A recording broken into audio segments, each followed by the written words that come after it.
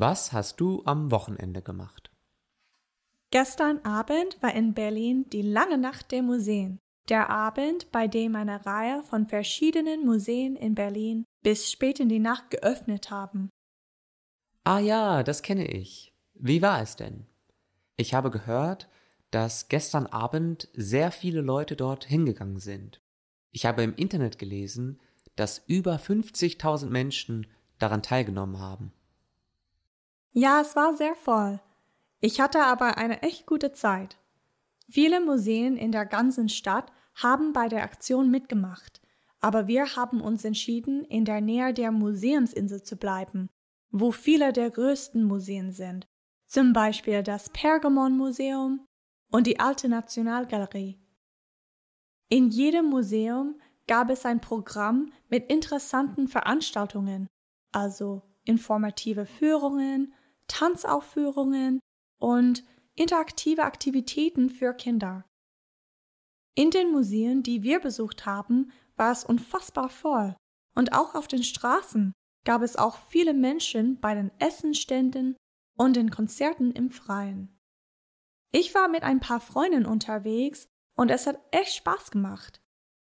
Wir haben eine Flasche Wein mitgenommen, die wir dann zusammen getrunken haben, als wir in der Schlange zu den Museen standen.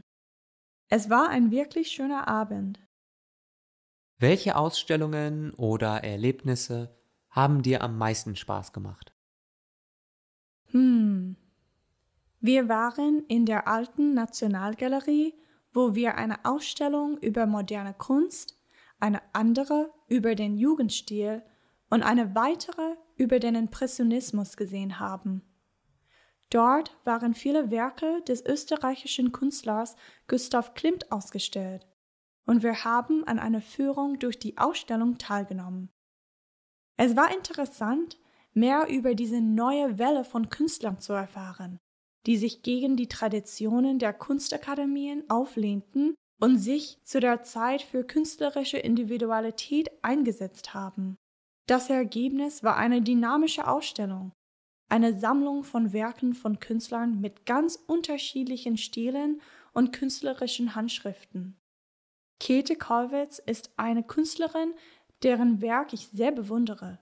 Sie hat die Auswirkungen von Hunger und Krieg auf die Arbeiterklasse dargestellt und oft auch den Schmerz von Müttern und Frauen.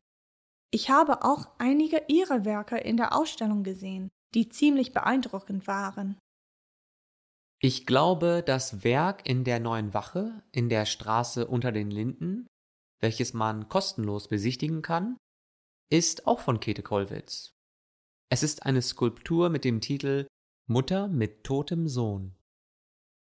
Oder? Ja, das ist richtig. Aber jetzt haben wir auch genug von meinem Wochenende geredet. Was ist mit dir? Was hast du so am Wochenende gemacht? Ich hatte ein paar Freunde zu Besuch in Berlin und habe ihnen ein bisschen die Stadt gezeigt. Oh, cool. Was hast du ihnen gezeigt? Was habt ihr gemacht? Sie wollten unbedingt das Berghain sehen, also sind wir ins Berghain gegangen. Und wie hat es Ihnen gefallen? Hatten Sie eine gute Zeit? Ja, ich glaube, meine Freunde haben gestern Abend echt viel Spaß gehabt.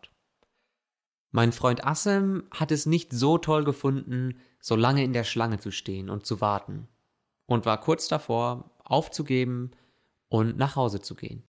Oh, aber er hat nicht aufgegeben? Nein, wir haben ihn überredet, noch eine Viertelstunde zu warten. Ich kann das aber auch total verstehen. Wir haben echt lange in der Schlange gestanden. Als wir dann irgendwann an der Tür waren, waren meine Freunde etwas überrascht, dass sie ihre Handykameras mit Aufklebern abdecken sollten, bevor sie in den Club durften. Ich habe mich dann entschuldigt, dass ich total vergessen habe, ihnen das vorher zu sagen. Im Club hat es dann aber total Spaß gemacht. James, mein anderer Freund, hat schnell bemerkt, dass es im Club nirgendwo Spiegel gibt. Er hat überall nach einem Spiegel gesucht, weil er seine Kontaktlinsen überprüfen wollte und hat aber keinen gefunden. Er hat dann am Ende sein Handy benutzt. James fand es auch interessant, wie die Menschen zu Techno getanzt haben.